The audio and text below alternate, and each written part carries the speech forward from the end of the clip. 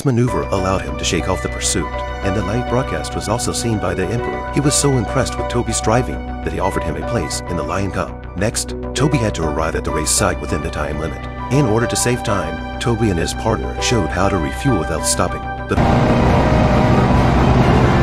on the other side of the fence, Dino, knowing that Toby was going to race, Dino knew that Toby was going to race, and he put a huge bounty on Toby's Mustang. The reward is a Lamborghini Element 6. Dino will stop at nothing to stop Toby, because he knew what Toby was capable of, and because he was a thief.